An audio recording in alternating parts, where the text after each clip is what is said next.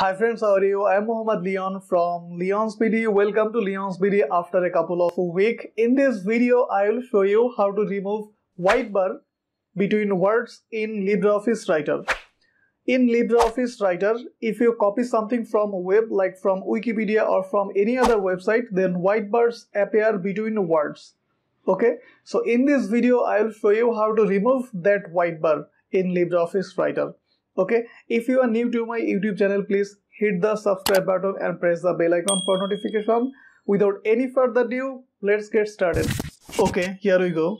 So what i'll do i'll go to wikipedia and i will copy a paragraph from here control c. And in libreoffice writer i'll just paste it control v. See? Between words there have white bar.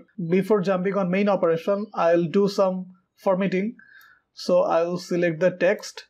From here I will select Times New Roman font. And I will select font size 16 okay? I will select justified. Okay? So now this white bars are clearly visible. Okay? These blue words are actually uh, contains hyperlink. So for removing hyperlink select the paragraph from here right click from here remove hyperlink. So hyperlink has been removed but uh, what I'll do I'll again select the paragraph and from here I'll make this paragraph full black okay? So from font color I'll select black. Now at this moment this white bars are clearly visible okay? So for removing white bar what you have to do select the paragraph and from your keyboard press ctrl alt shift v simultaneously and boom the problem has been solved okay? And there have another way you can solve the problem and i'm showing you. I am going to a website okay for copying some text or copying some paragraph. So from here i will copy this paragraph. Control c i am going back to libreoffice writer and here i will paste it. So control v. See same sort of problem has been occurred.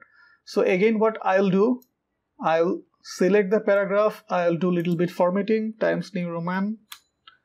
Then font size 16 then I'll remove the hyperlink.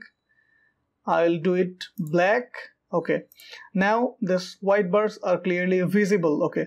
What you have to do I said another there have another way to solve this problem. Just select the paragraph from here right click from here paste special then unformatted text. Just click on unformatted text and boom the problem has been solved. So this is how you can remove white bar between words in LibreOffice Writer.